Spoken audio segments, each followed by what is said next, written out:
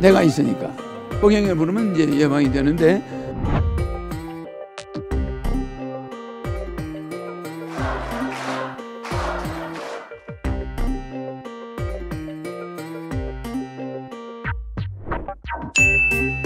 허경영 총장님을 여러분 일어나서 맞아주시기 바랍니다.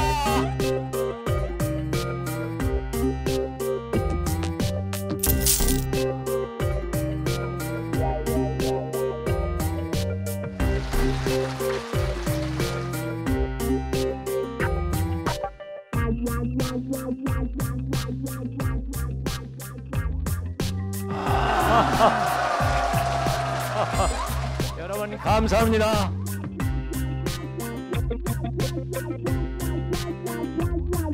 여러분이 여기 우유를 갖다 놔고 몇천억 년 가도 안 썩는 거 알죠?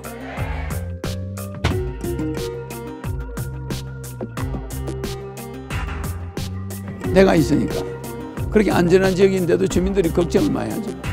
그래서 2주만 밖에서 해달라. 그래서 하는 거예요. 복용을 부르면 이제 예방이 되는데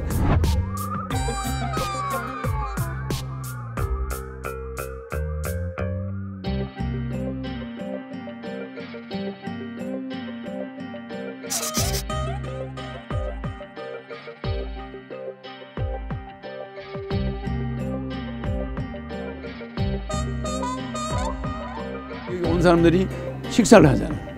그럼 식당가가 엄청난 이익이에요.